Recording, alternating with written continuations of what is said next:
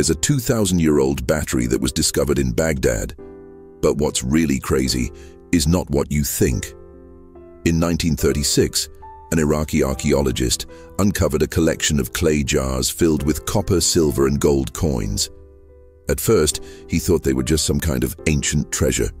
But when he opened one of the jars, he found something even more valuable.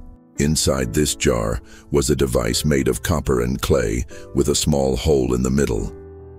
And when he put a copper coin inside the hole, it magically levitated. The archaeologist had just discovered the world's oldest known battery.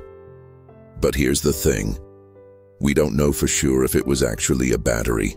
The coins could have been used for other purposes, like in religious ceremonies or as weights to keep the lid closed. It's possible that this device was just a toy, not a battery.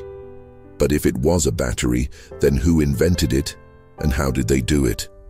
And if it wasn't a battery, then what was its purpose? We may never know the answer to these questions, but one thing is for sure, it's a mystery that will continue to baffle scientists for years to come.